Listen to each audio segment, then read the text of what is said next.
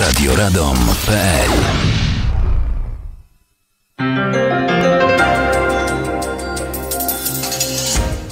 Joanna Stachurska-Ruszkowska, dzień dobry. Słuchacie Radia Radom. W naszym studiu już goście Marcin Gęca, Echo Dnia. Oddaję głos. E, Dzień dobry.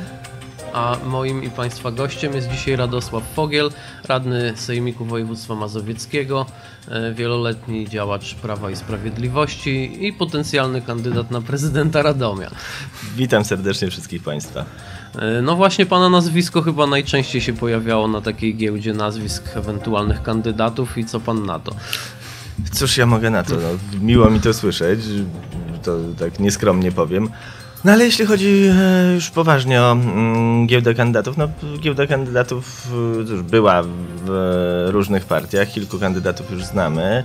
W ramach Prawa i Sprawiedliwości już zasadniczo decyzję podjęliśmy e, co do tego, bo mieliśmy rzeczywiście dosyć szeroki wachlarz e, możliwości potencjalnych kandydatów.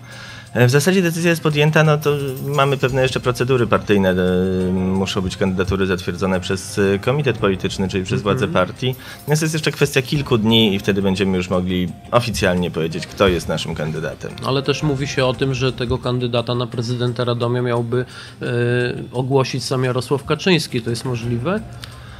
A, to jest jeszcze kwestia do decyzji, bo mm, tak jak byli ogłoszeni kandydaci na prezydentów miast wojewódzkich, e, rzeczywiście w formule takiej e, wspólnej konferencji w siedzibie partii w Warszawie. Mm, Być może będzie taki pomysł e, też tym razem, no ale jeszcze decyzji nie ma, no a tutaj też no, nie ma co ukrywać. E, pewnym problemem jest aktualny problem zdrowotny, bo problem z nogą e, prezesa Kaczyńskiego, który, który w związku z tym ma dość ograniczoną e, na razie aktywność e, medialną.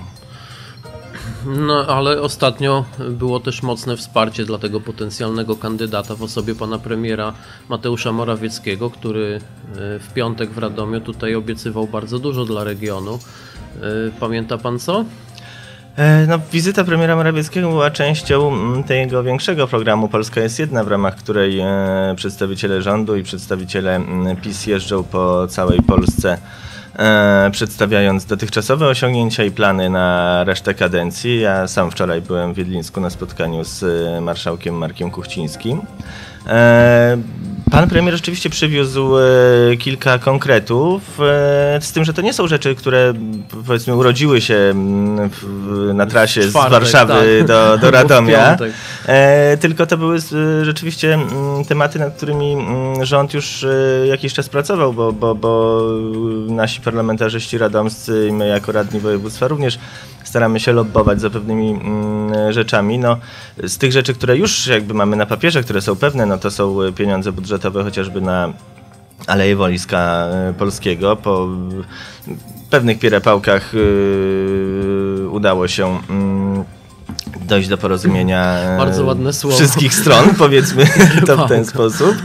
E, No, pan premier mówił też o tej nowej ustawie dotyczącej stref ekonomicznych, bo to jest takie hasło, że cała Polska strefą ekonomiczną, ale de facto mm, chodzi tu o to, że mm, te szanse są wyrównywane pod tym względem, że to już nie jest tak, że ktoś po prostu sobie mm, wychodzi w centrali w Warszawie, że e, w jego mieście jest specjalna strefa ekonomiczna, tylko e, potencjalnie te strefy ekonomiczne mogą być tworzone w każdym miejscu, ale ich atrakcyjność dla inwestorów będzie uzależniona od, e, od sytuacji lokalnej. To znaczy, tak jak w Radomiu, czy tak jak e, w powiecie szydłowieckim, ten e, bezrobocie jest bardzo wysokie, tam będą ci inwestorzy mogli mieć dużo, dużo korzystniejsze, bardziej zachęcające do przyjścia warunki. Jak pan sądzi, czy to teraz w zasadzie jest start kampanii samorządowej? E, Czy ludzie zagłosują na partię, czy na konkretne osoby? No, technicznie rzecz biorąc, start kampanii będzie, kiedy zostanie ogłoszony termin wyników, bo inaczej Ona oficjalnie się nie zaczęła. Komisja Wyborcza by nas tutaj mocno natomiast w ogóle to złapała trwa, to musi pan przyznać. E, No oczywiście już pewne, pewne tego typu przygotowania, nazwijmy co, czy, czy, czy, czy tacy harcownicy, jak to się kiedyś mówiło przed bitwami, występują. Najbardziej jest to oczywiście widoczne w Warszawie. Mm, No w Radomiu też już właśnie kilku kandydatów mamy, którzy powoli przedstawiają swoje, swoje programy. No, paru nam jeszcze brakuje, bo nie tylko, nie tylko Prawa i Sprawiedliwości, ale tam chyba wśród bezpartyjnych Radomian, Radomian tam nie wiem, czy rzut monetą ma decydować, no jakaś tam procedura wyłonienia kandydata mm, też, też będzie. A czy na partię, czy na, czy na osobę? Myślę, że to jest to jest jedno i drugie, bo z pewnością prezydent miasta musi być osobą e, taką, której mieszkańcy mogą zaufać, która da gwarancję, że e, tym miastem może zarządzać w sposób kompetentny, mm, godzący interesy, no, nie wszystkich, bo wszystkich nigdy się nie da, ale większości mieszkańców, ale równocześnie Wiadomo, że mm, polityka jest domeną partii politycznych i o ile w samorządzie te ruchy obywatelskie są dużo bardziej widoczne, to myślę, że jednak od tej polityki partyjnej nie uciekniemy, zwłaszcza, że mm, tutaj no, cały czas duże wsparcie dla miast jest istotne, jeśli chodzi o środki unijne, to od tego, kto rządzi w województwie, czyli od wyników wyborów do sejmiku. E, I no też nie ukrywajmy, dobre kontakty w rządzie są też atutem potencjalnego prezydenta. Mm, o tym samym mówił też e, wiceminister Wojciech Skurkiewicz tutaj na pana miejscu kilka dni temu. E, czy to jest wystarczający pana zdaniem argument, że prezydent miasta będzie z tej samej opcji co rządzący? Mm, nie, no to nie jest argument wystarczający, bo mm, najlepszy przykład e, obecnego prezydenta, który przez jakiś czas miał rząd ze swojej opcji, no co więcej miał premiera z, regionu radomskiego mhm. i no niestety efektów tego wielkich nie było, więc to jest, to jest argument dodatkowy, to jest rzecz, która na pewno nie zaszkodzi, a może pomóc, ale tak jak mówię, no przede wszystkim jest e, istotny pomysł e, potencjalnego prezydenta na miasto, jego operatywność, jego umiejętności otwierania drzwi do e, różnych ośrodków. A pana pomysł jaki byłby, gdyby pan kandydatem? No, gdybym ja był kandydatem, to mój pomysł to jest y, rozwijający się, mm, modernizujący się Radom. No, pozwoli pan redaktor, że w szczegóły nie będę wchodził, bo mm, mamy pewien program jako Prawo i Sprawiedliwość. Kto tym kandydatem będzie będzie ten program realizował. No na razie ujawniliśmy pierwszy element, to znaczy budowę e, pawilonu rehabilitacyjnego. Mm, no ale nie będę tutaj tych wszystkich y, asów z rękawa jeszcze mm -hmm. wysypywał, bo przed nami tej kampanii kilka miesięcy. E, a jak pan ocenia współpracę z panem marszałkiem Struzikiem? Jest pan radnym Sejmiku od wielu lat i w ostatnich wyborach samorządowych PiS wygrał, ale nie zmontował koalicji. Czy teraz też grozi podobny scenariusz z państwa? E, faktycznie, w ostatnich wyborach e, na całym Mazowszu PiS zdobył dokładnie tyle samo mandatów, ile PSL. No niestety to wtedy był ten Mm, odgórny e, przykaz e, kierownictw obu partii, e, żeby zawierać koalicje regionalne takie same jak, jak krajowa, czyli PO-PSL, więc tutaj w ogóle nawet nie było takiej rozważanej takiej opcji. Mm, tak na marginesie mogę dodać, że też no właśnie jeśli chodzi o tę współpracę z marszałkiem, to mm, nie jest nawet w sferze powiedzmy dość symbolicznej nie jest ona najlepsza, bo jednak jest dobrym obyczajem, że opozycja mm, dostaje mm, fotel członka prezydium na przykład, mm. albo jedną lub dwie komisje. No niestety my jako Prawo i Sprawiedliwość w Sejmiku zostaliśmy wyrugowani zupełnie z tego wszystkiego. A e, dużo, dużo nasz region dostaje z, z, z funduszy mazow mazowieckich? Mogę Według powiedzieć tak, pana? dużo za mało. Dużo za mało. E, no, no, był tutaj pan marszałek Struzik też kilka dni temu i twierdził, że po prostu takiego rozkwitu to nie było od lat. No, marszałek Struzik mam wrażenie ogląda rzeczywistość nie tylko jeśli chodzi o y, rozkwit naszego regionu, a, ale też różne inne rzeczy przez różowe okulary i, i taką propagandę sukcesu y, głosi. No ja przypomnę, jak ciężkie boje musiał dotoczyć zawsze prezydent Kosztowniak. Czasami to się w sądzie kończyło, żeby, żeby y, wydębić pieniądze z Urzędu Marszałkowskiego. No teraz też przed chwilą jeden z projektów miejskich na system sterowania ruchem, no niestety znalazł się pod kreską, mimo podobno tego, że był przygotowany bardzo dobrze. No a tak się przykładowo stało. Oczywiście żadnych złych uczuć do Płocka nie żywię, no ale że znowu te pieniądze dostał Płock, z którego pochodzi marszałek Struzik i jak różne są pogłoski, że tą swoją dalszą karierę polityczną również z Płockiem będzie łączył.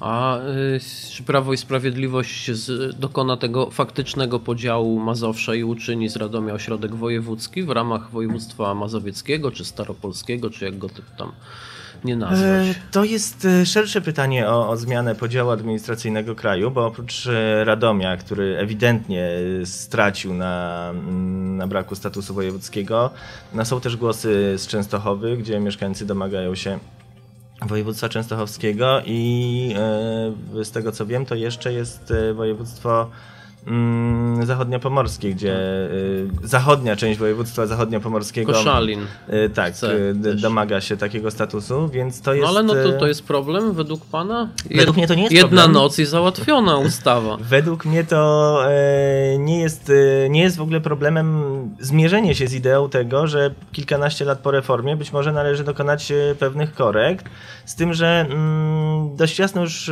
jako Prawo i Sprawiedliwość powiedzieliśmy, że no, nie da się wszystkiego upchnąć, e, mówiąc kolokwialnie, w e, te cztery lata. Zwłaszcza, że to kadencji. musi być proces mm -hmm. no, poprzedzony analizami konsultacjami społecznymi, być może referendami, więc z, z pewnością się tym zajmiemy.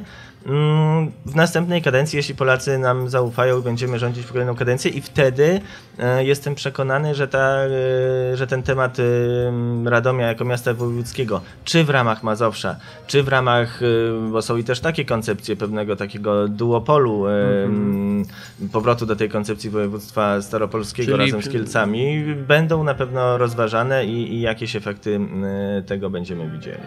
E, obniżka pensji w samorządach pomoże Prawu i Sprawiedliwości utrzymać władzę według Pana? To nie wiem, czy to jest e, rzecz, która akurat wpływa na e, utrzymanie pan władzy. Będzie pan miał obniżoną pensję?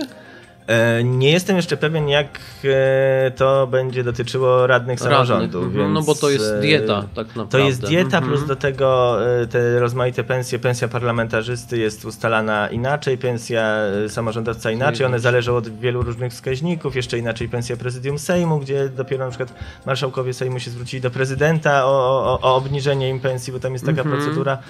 Tutaj chodzi raczej o pewne uporządkowanie spraw, bo ja mm, przypomnę, no ta burza y, przy okazji nagród wybuchła i no, oczywiście bierzemy to... A nie słusznie? Słusznie i bierzemy to jak to się mówi, na klatę i w związku z tym Może trzeba było ten na raty ten efekt, jednak. ten efekt społeczny pokazał nam, że Polacy tego nie akceptują, więc y, bijemy się w pierś i stąd ta obniżka i parlamentarzystów. No, za tym idzie też e, samorząd, bo czasami był, no, nawet nie tak rzadko dochodziło do sytuacji, kiedy wiceprezydent nawet nie, nie specjalnie dużego miasta zarabiał więcej niż e, sekretarz stanu. Tu, tu jest inny problem, bo mm, Prawo i Sprawiedliwość... Albo prezydent pamiętam, Polski. Albo prezydent Polski. W 2016 roku e, chciało uporządkować te sprawy całościową ustawą, e, urealniając, e, porządkując pensje ministrów, posłów, no wtedy no. niestety a, Też atak opozycji, atak tabloidów sprawił, że, że wycofaliśmy się z tego. E, no ale widać, że to jest, że to jest ciągły problem, bo z jednej strony oczywiście ja rozumiem, że parlamentarzysta, przedstawiciel władzy nie może zarabiać kokosów, bo nie po to się idzie do polityki. E, zwłaszcza to, to bardzo źle wygląda z perspektywy kogoś mieszkającego w e, regionie o niskich dochodach. Z drugiej strony no, jest to odpowiedzialna praca, jest to praca nielimitowana czasowo, w zasadzie 24 godziny na dobę. Jakieś rozwiązania takie całościowe, systemowe będzie trzeba prędzej czy później przyjąć. No dobrze, w takim razie yy, oczekując na inwestycje dla Radomia, i na te rozwiązania, które będą chcieli Państwo przyjąć. Dziękuję za tę rozmowę. Dziękuję serdecznie. A moim i Państwa gościem był Radosław Fogiel, e, radny Sejmiku mm, Województwa Mazowieckiego, wieloletni działacz Prawa i Sprawiedliwości. Czy PiS dokona podziału Mazowsza? To nie jest problem. Kilkanaście lat po reformie trzeba dokonać jakiś korekt. Z pewnością się tym zajmiemy w następnej kadencji. Temat Radomia na pewno powróci, powiedział nasz gość Radosław Fogiel, radny Sejmiku Województwa Mazowieckiego. To była mocna rozmowa. Marcin Gęca, dziękujemy bardzo serdecznie.